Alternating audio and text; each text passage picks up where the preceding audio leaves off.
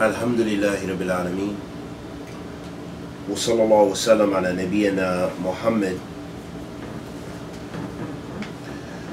وعلى آله وصحبه وسلم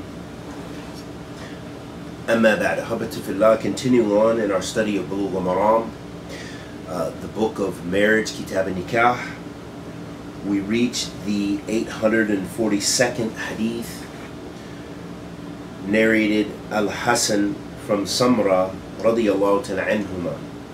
The Prophet sallallahu alaihi wasallam said, if two guardians have given a woman in marriage, she marries the man she was first married to. Reported by Ahmed and Al-Arba. At-Tirmidhi graded it as Hasan. In this hadith, it means that if two guardians marry a woman to two different men, the first marriage is lawful and the second one is unlawful. If the two marriages take place at the same time, then both are unlawful and there is no difference of opinion in it. This hadith or this mas'ala is difficult at times for us to have an accurate picture because if we are seeking the consent of the woman, then this should be prevented. This should be prevented if two suitors come to to to the to the woman, and if the guardians are asking the woman, then when it is uh, and seeking her consent, then when it is brought brought and presented to the woman from the first suitor, when the second one comes to another guardian, although he may accept the suitor, but still he needs the consent of the woman. This is her haq. However, some of the benefits from this hadith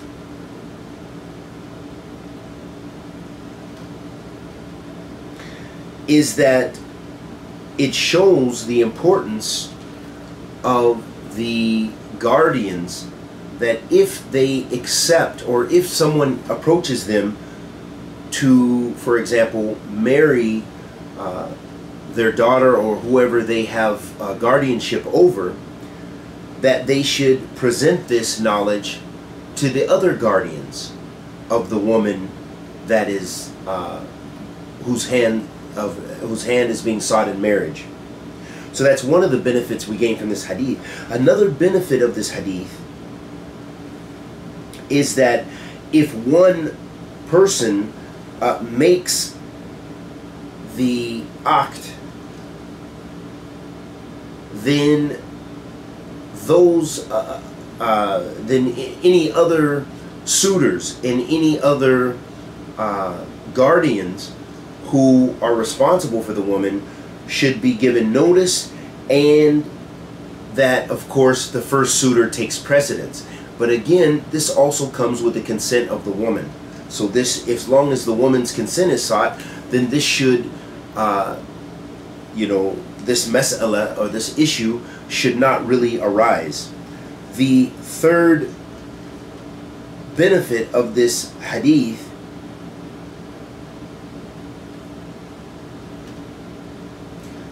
is this hadith shows us the inclusiveness of Islam and that Islam deals with uh, all kind of masail and issues. And it shows the how in depth the shara is that Allah subhanahu wa ta'ala did not leave out anything regarding the affairs of human beings. In the next hadith, narrated Jabir radiyallahu ta'ala Allah's Messenger sallallahu alayhi wasallam said, Any slave who marries without the permission of his masters or owners is like a fornicator, reported by Ahmed, Abu Dawood, An-Nasa'i, and the Tirmidhi. The later graded it as Sahih, authentic, as did Ibn Hibban in this hadith, some of the benefits of this hadith the main benefit of this hadith is this hadith illustrates for us is that in order, so this shows us uh, uh, the the conditions for a sound marriage for the slave is that it must take place with the permission of the owner of the slave. So this shows us, this hadith here illustrates the condition, uh, one of the merit, the conditions for a marital contract for the slave if someone is in that situation. In the next hadith,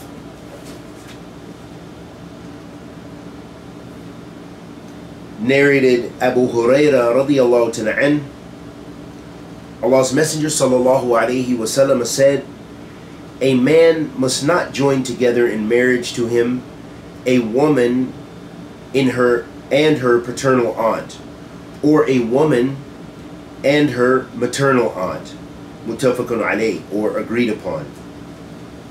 In this hadith, the hadith of uh, Abu Huraira radiallahu ta'ala uh, the Messenger of Allah sallallahu alaihi wasallam said that a man must not join together in marriage a woman and her paternal aunt or a woman and her maternal aunt.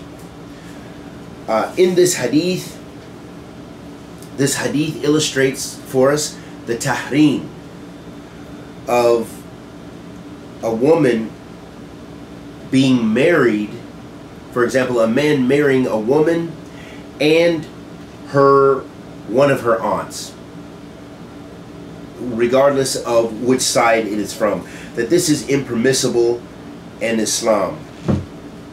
And this illustrates for us that Islam is uh, looks to the importance of preserving the family ties.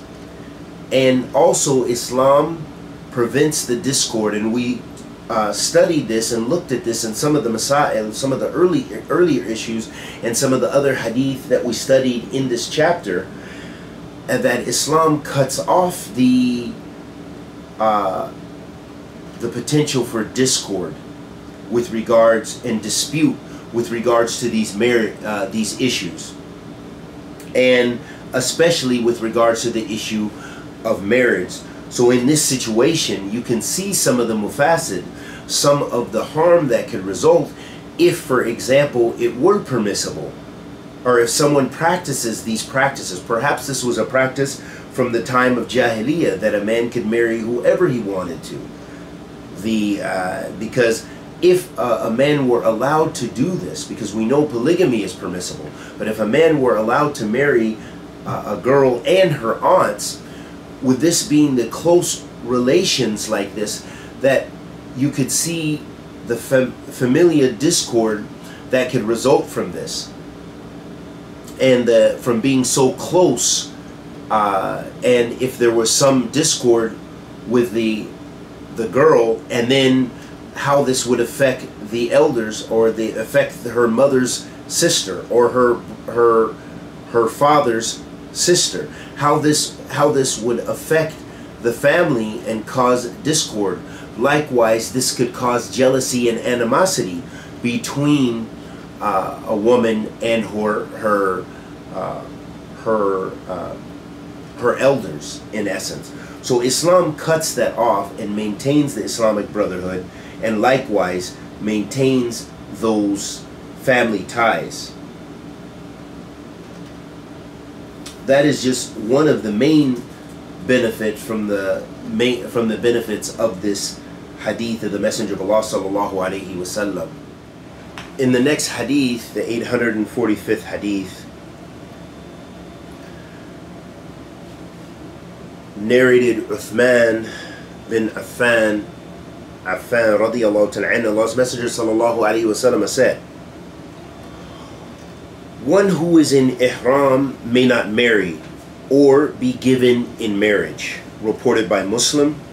In another narration by him it says, he should not ask someone's hand in marriage. Ibn Hibban added, nor give someone an engagement to be married. And in the next hadith, narrated Ibn Abbas radiallahu ta'ala the Prophet wasallam married Maymuna anha when he was in the state of ihram during the pilgrimage, mutafaqun alayh, agreed upon. Muslim reported from Maymuna anha herself, the Prophet wasallam married her when he was not in the state of ihram. In this, uh, these ahadith, in the first hadith, the hadith of Uthman radiallahu ta'ala or the ahadith of Uthman radiallahu ta'ala where Allah's Messenger sallallahu said, "One who is in uh, ihram may not marry or be given in marriage," reported by Muslim. In this hadith, or in these ahadith, what we understand is the ruling regarding uh, the marriage of a muhrim or the and also the ruling regarding the marriage of a muhrima and also the ruling regarding getting engaged even. And the prophet ﷺ said la yankihul muhrim and this when he said this sallallahu alaihi wasallam he said do not uh, uh, uh, or that the the muhrim does not get married or or uh, does not get married, meaning that they and this includes both the men and the women. So although this is general and this is talking, uh, the muhrim is the male who is in ihram, who is on the hajj or who is um, you know making umrah. That this includes both male and female and lets us know that it is not permissible to uh, get married. Also, and Allah subhanahu wa ta'ala says, وَأَتِمُّ الْحَجَّ وَالْعُمْرَةَ لِلَّهِ Allah subhanahu wa ta'ala says, في كتاب الكريم, and complete the Hajj and the Umrah lillah for Allah. So this lets us know that it is absolute it's absolutely necessary and an obligation as Allah subhanahu wa ta'ala has commanded to fulfill the Hajj and the Umrah. And that by getting married one has violated that Hajj or that Umrah. They violated the Hajj and Umrah. And the second way that there's a type of fasad or um, a type of sinfulness and is that it distracts by marriage it also it'll distract and take away from that pilgrimage meaning the person who does this who, for example, if someone were to get married during the Hajj, then they will busy themselves the whole time thinking about they just got married they will be thinking about that. Even if they didn't consummate they will be thinking about their new uh, their new spouse.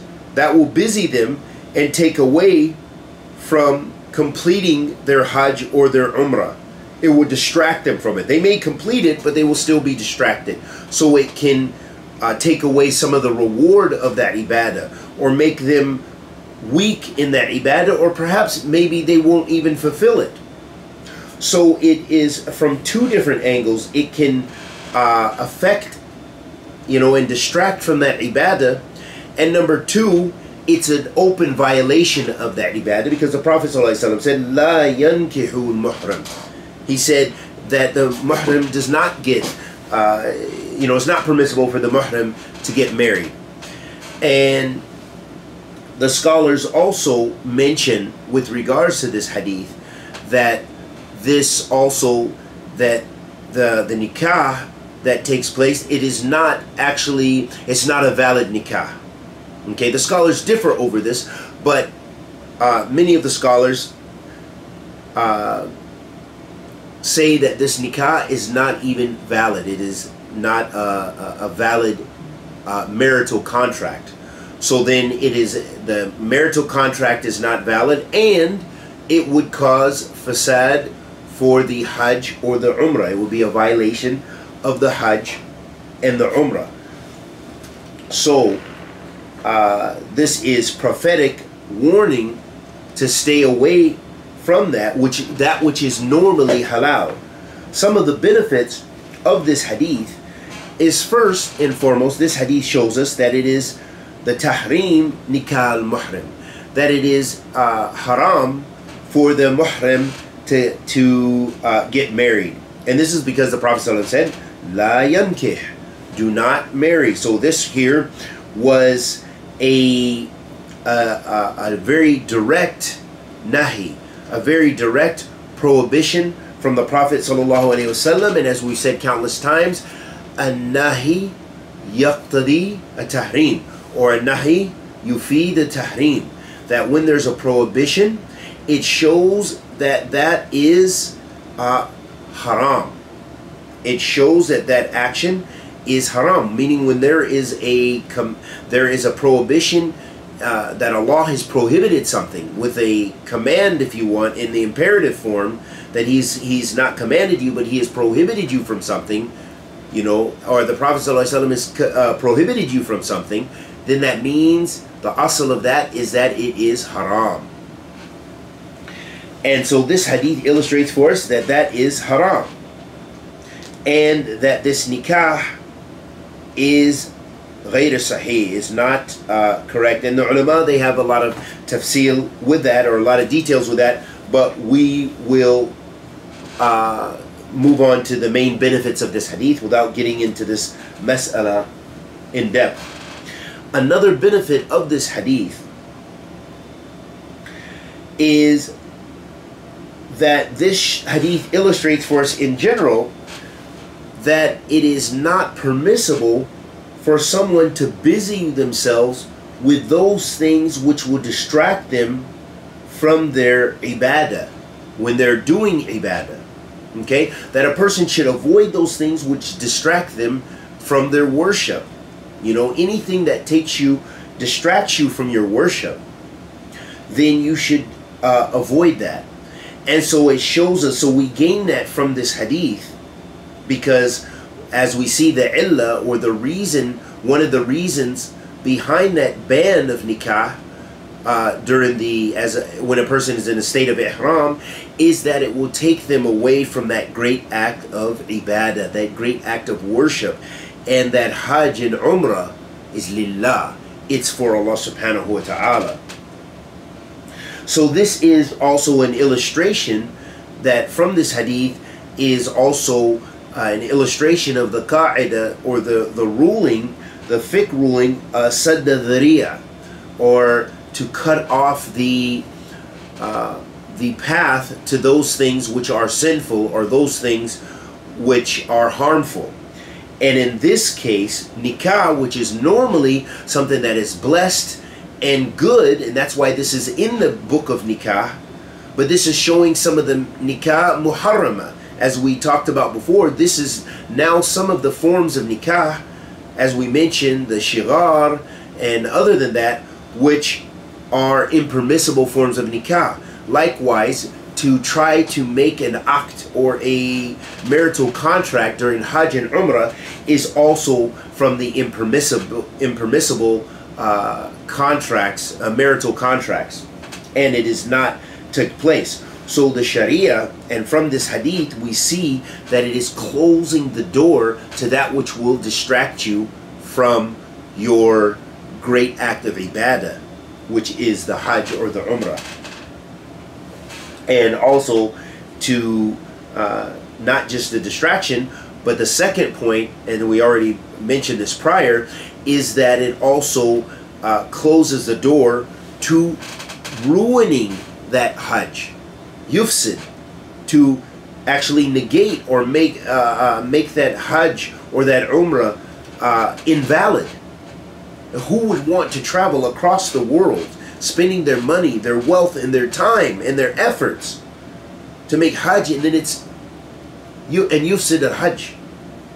وَعِيَاذٍ بِاللَّهِ مِنْ ذَلِكَ So that shows us the seriousness of it to avoid and adhere to the to avoid the prohibitions of the Sharia and adhere to the Sunnah of the Messenger of Allah So that's another benefit of this hadith.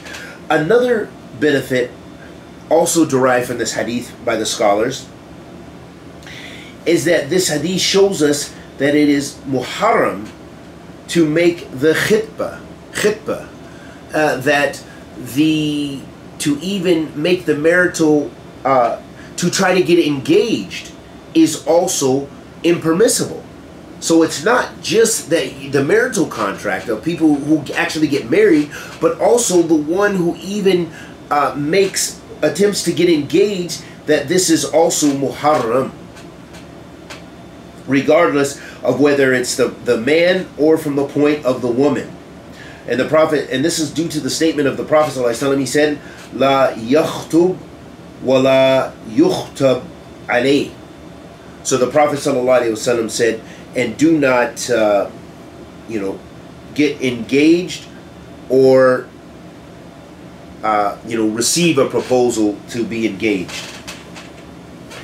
Another benefit of this hadith is this hadith uh, illustrates for us also, uh, as we mentioned, it is an uh, uh, it points out that qaida, that important ruling that the qaida the, the, the fiqh principle, which is sadda dhari'a, sadda dhara'i, uh, meaning to cut off the uh, the means to something which is harmful or cut off the means to something which is sinful. And there are many examples of that in the Sharia, and this is just one of them, as we see the Prophet ﷺ has uh, mentioned. So the one who is not getting engaged, this is cutting off the means to ruining your Hajj or ruining your Umrah. Likewise, as Allah subhanahu wa ta'ala has commanded us to lower our gaze, this is cutting off, lowering the gaze is cutting off the means to committing the sin of zina. That with our eyes, this is a type of zina, as the Prophet ﷺ described it. So that lets us know that this is cutting off the means. Because if you're not even going to look at someone, then the chances are very uh, unlikely that you're going to touch them or that you're going to commit zina. billah min with them. So this is sadda This is cutting this off. If a person is unwilling to shake hands with the opposite sex, which the Prophet ﷺ also mentioned that this is uh, impermissible and that it's better to be hit in the head with an iron uh, bar, as the Prophet ﷺ said, then this is also cutting off the path to what? Cutting off the path to zina. Not that you're going to get najasa from touching their hand or anything like this. No. But rather, this is cutting off, this is sad uh, dhara'i or sad dhari'a. This is cutting off the bab, cutting off the means to committing uh, adultery, to committing fornication, to committing the, the muharramat. So the Sharia has many examples of this. Uh, regarding the uh, the other hadith, the hadith of Maymuna, radiallahu ta'ala uh, which is the hadith of uh, the hadith of Ibn Abbas and the hadith of Maymuna, narrated Ibn Abbas radiallahu ta'ala the Prophet wasallam married Maymuna radiallahu ta'ala when he was in the state of ihram during the pilgrimage. And this is mutafaqun alayh. This is in Bukhari and Muslim. Uh, Muslim reported from Maymuna herself radiallahu ta'ala anha the Prophet ﷺ married her when he was not in the state of ihram. And of course, Maymuna would know better of the situation of her marriage. So this hadith has more precedence. And so while in the state of ihram, taking part in engagement to marry or marriage of one's own self or of someone else is not permitted, as we already mentioned, according to most scholars. So this is according to majority of the scholars. As regards the next hadith, which is reported by Ibn Abbas anhuma, its chain of narrators is also sound. But he was mistaken that the Prophet ﷺ married Maymuna while he was in a state of ihram. Maymuna herself has contradicted this in the hadith coming after it. So this shows us, uh, you know, the hadith of Maymuna uh, takes precedence because she herself would know better their state. And the scholars mention uh, more in detail about this hadith, but those are the most important uh, matters with regards to this, uh, to the hadith of uh, Ibn Abbas and the hadith of Maymuna radiallahu anhuma. In the 847th hadith, narrated Uqba ibn Amir radiallahu anhu, Allah's Messenger sallallahu alaihi wasallam said, the most worthy conditions to be fulfilled are those by which you make sexual intercourse lawful for yourselves in marriage, agreed upon. This is in Bukhari and Muslim. In this hadith of Uqba, uh, ibn Amir, radiallahu ta'ala, there are immense benefits. And this is the hadith where the Prophet said, the most worthy of conditions to be fulfilled. And this refers to uh, the conditions of nikah, the conditions for marriage, for the marital contract. And we're going to discuss uh, two types of conditions that you find with uh, related to most of the transactions uh, in Islam that require shurut. Uh, and so, for example, uh, when we talk about shurut, shurut nikah, there are shurut nikah, meaning the conditions of the marital contract. And then in Arabic they say shurut fi nikah shurut fi nikah. So this is the shurut, the conditions within the marriage. And we're going to talk about that very shortly, about what the difference is between uh, those two. So in this hadith, uh, hadith of Uqba ibn Amr, the Messenger of Allah wasallam uh, clarified for us that the most worthy conditions to be fulfilled are those which allow for uh, uh, sexual intercourse to be lawful between uh, the husband and wife. Letting us know the importance of the marital contract and the marital bond and fulfilling the conditions of the marital contract. So, in regards to this, some of the uh, benefits with regards to this is first uh, that we have to understand when we talk about these shurut, these conditions, uh, there are two ways in which we use this term. So we're going to have to go with some of the Arabic terminology and we'll, we'll do our best to translate it and make it clear. شروط شرط الصحة وعلى شرط اللزوم So when we're talking about these conditions, ashart siha means a condition which allows for this marital contract to be lawful, to, to, to actually take place. That means if it's not in place, then it is not a sound, uh, a legitimate marital contract, and the marriage did not take place. Shart al-luzum, this refers to uh, the conditions uh, within the marriage. Okay? And this is what we say, shurut nikah, for example.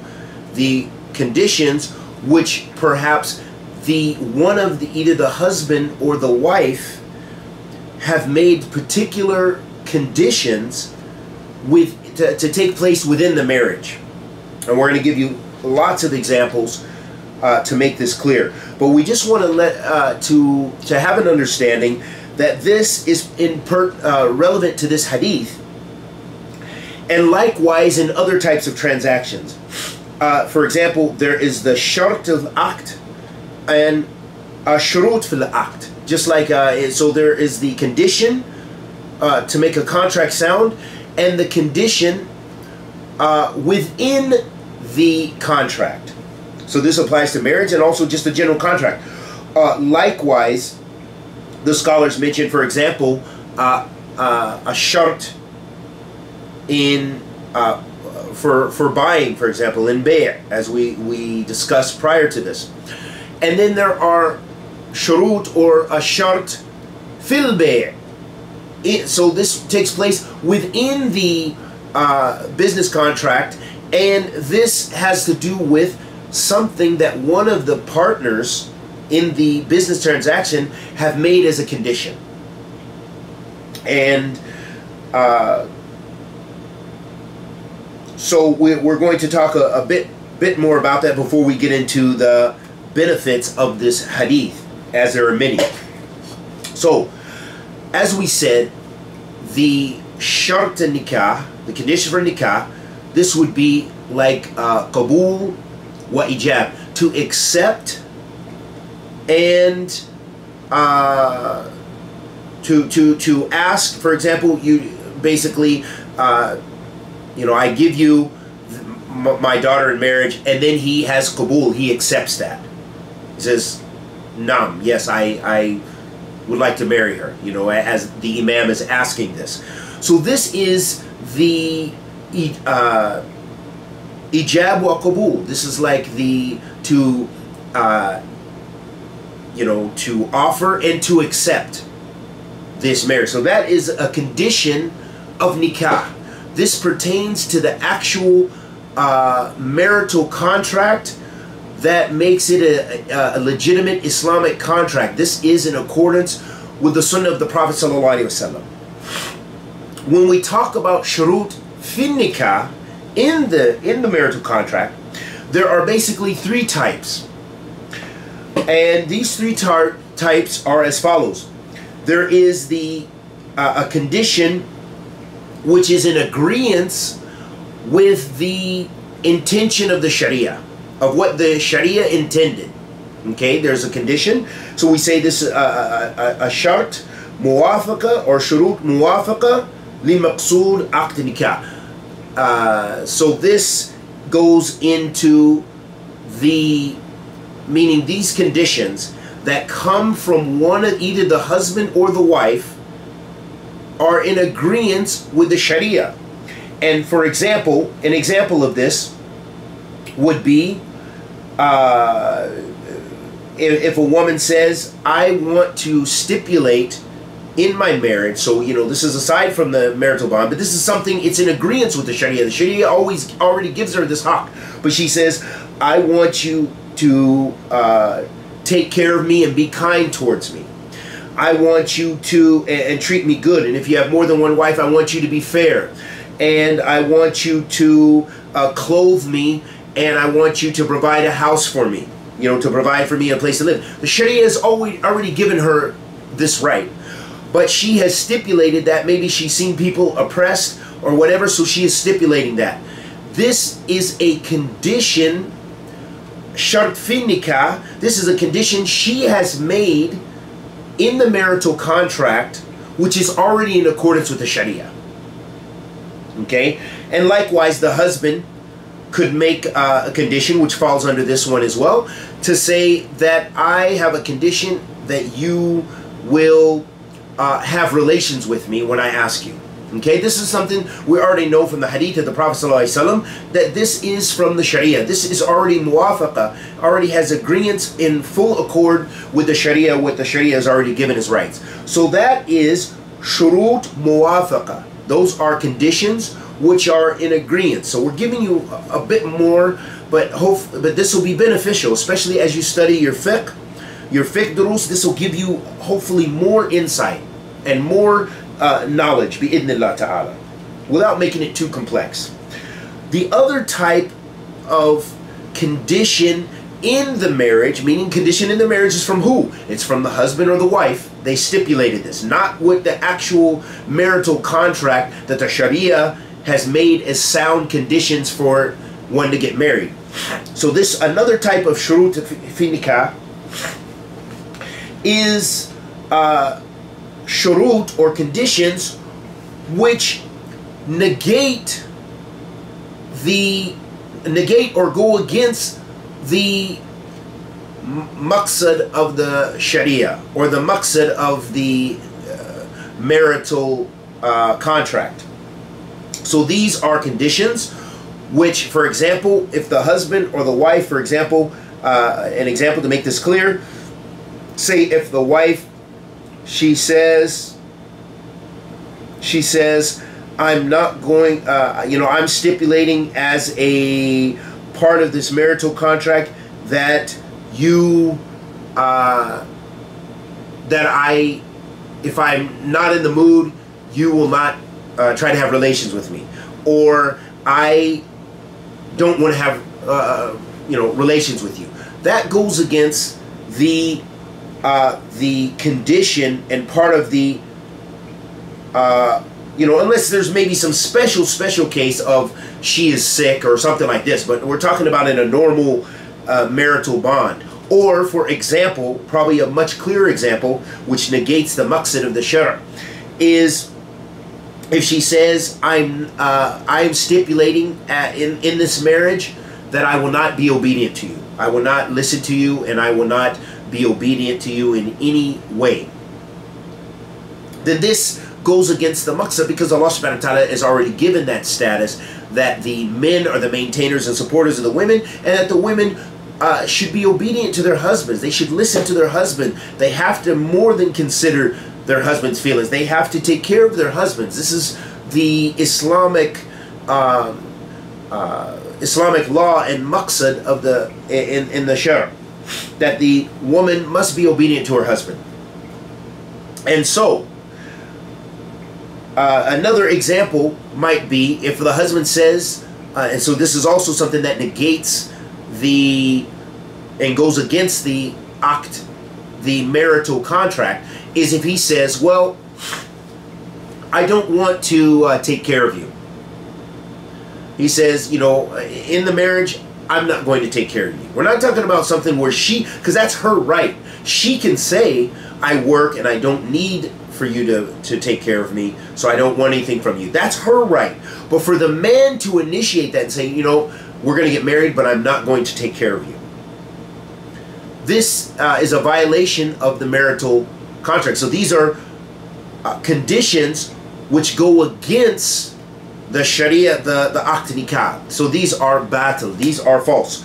The third type of shart or condition in the marital contract is one in which uh, a condition which does not go against the Sharia uh, and the Sharia has not commanded. And for example, of this type of shart fin nikah condition in the marital contract, again, condition in the marital contract comes from the husband or the wife, this would be the case, for example, if a woman says, which is common in some uh, places, the woman says, uh, if you choose to marry another wife, she says this before they marry. She puts this as a stipulation in the marital contract because that's normally halal for the man. She says, I want you to divorce me if you marry another woman. She makes that as a condition. So, although perhaps the scholars may differ, but this as some of the scholars stipulate, uh, mention that this falls under that, where it, you know that she can stipulate. She can't stipulate that you divorce the other wife, but she can stipulate that she wants out because she feels she cannot handle that situation. So she says, if you choose to marry another wife, then I want out. So the Sharia has not commanded her to do that, nor does it necessarily prohibit her from doing that as she is stipulating that in the beginning. Another, perhaps more clear example or less controversial example would be uh, if a woman stipulates in her marriage, she says, you know, I'm from Jordan, and I know you're gonna you you have a job in Saudi Arabia or whatever the case may be. I don't want to go to Saudi Arabia. I want to be in my country and close to my family. If she stipulates that, this is a shart fin nikah. This is a condition in within the marital contract from her. And it doesn't necessarily negate the Sharia, and the Sharia has not commanded to do such an, an action. So this, you could say, is something that's mubah, permissible for her to do, as long as she has stipulated that beforehand and the man has agreed to that. Then he cannot take her out of her country. So these are, this is the third type of shart fin nikah. So I hope that distinguishes a bit, gives us a little bit of insight of the difference between conditions in the marital contract and conditions of the marital contract. Uh, some of the fawaid or benefits of this hadith. First, this hadith shows us the permissibility of conditions uh, in the marital contract. This hadith illustrates for us that uh, the um, that it is permissible to have conditions shart uh, shurut fi nikah that are conditions not just the marital conditions the, the conditions of the marital contract itself that is well known that's from the shara but to make it a legitimate uh, marital contract but conditions from the husband or the wife so in this uh, situation and this is due because the Prophet ﷺ, this is due to the statement of the Prophet والسلام, where he said he where he mentioned that there are conditions uh, and he mentioned this without restricting it. He did not restrict those conditions at all. And the Prophet ﷺ said in two different hadith, in one hadith he said, كل شرط ليس في كتاب الله فهو باطل وإن كان مئة shart. The Prophet ﷺ said, every condition which is not in the book of Allah, then it is uh, false, meaning that it goes against the, the book of Allah subhanahu wa ta'ala, even if it was a hundred conditions. That does not negate having conditions, because we know that those other conditions are not contained in the Quran, but the, they don't negate the Quran. They don't go against the Quran. So this is very important for us to understand because this a lot with the Sharia, this um, this issue occurs that there are things that we see in contemporary times, and people say, "Oh, you're ruling by other than what Allah revealed. You're this and this and this," but in fact, they are things with the, the Sharia didn't speak about, and they don't the the ruling uh, of what of other than what Allah Subhanahu wa Taala revealed is doing those things which negate, negate what Allah revealed. Okay, they negate Allah, what Allah subhanahu wa ta'ala revealed. So, or go against it, contradict it. Also, proof for this, uh, the conditions in nikah, that which is derived from this hadith, the benefit of this hadith, is also from another hadith. The Prophet ﷺ said, uh, Al-Muslimun ala shurutihim illa shartin ahalla haraman or harrama halalan. The Prophet ﷺ said, Muslims are upon their conditions. Or Muslims, they, uh, you know, must uh, be in accordance with their with their conditions. With the conditions, you know, they must fulfill their trust and their conditions that they stipulate on one another. Except a condition which makes that which is unlawful lawful or that which is lawful unlawful. So that shows us those ahadith, along with the hadith that we're studying, show us that it is permissible to make conditions within the uh, marital contract. Also, this hadith, we gain from this hadith is to show the broadness of the Sharia, of the Islamic uh, Sharia, and that it did not restrict people's conditions, their ability, like just saying the Aqd Nikah, this, anything else is false. No, but rather the Sharia is broader than that. So it shows the that that that it isn't so restricting upon people, and this is what we have to realize, and we gain this benefit from this hadith. another condition uh, that we, another um, issue or benefit we gain from this hadith is this hadith affirms for us that there are conditions in the nikah, as we mentioned. Conditions in the nikah. And that they are very important and fully must be uh, given their right. You know, if there's a condition that you've agreed upon, you must fulfill it.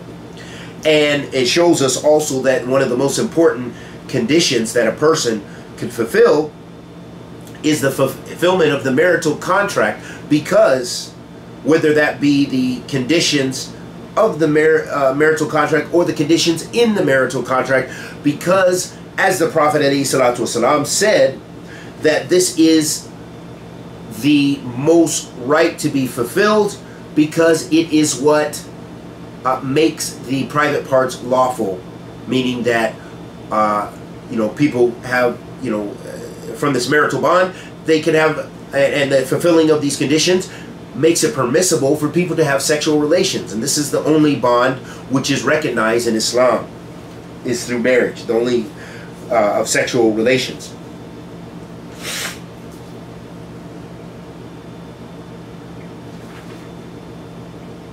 Likewise, this this hadith is uh, is a refutation or negates those people who make it really restricted as far as the marital contract and the, the conditions uh, in in the marriage.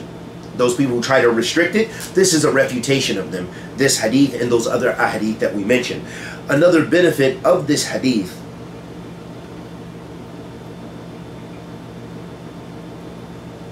is that it shows that whoever is uh, not fulfilling the conditions that they have made uh, as far as the marital contract, then they must do so.